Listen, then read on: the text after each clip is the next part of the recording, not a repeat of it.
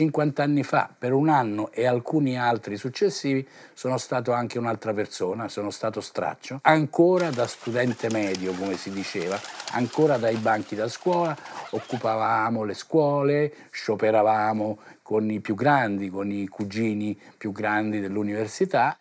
Perché il voto, le interrogazioni, l'esame sono secondo voi ingiusti? Perché a noi non servono, servono soltanto ai professori per giudicarci. Noi andiamo a scuola per imparare, non per essere giudicati.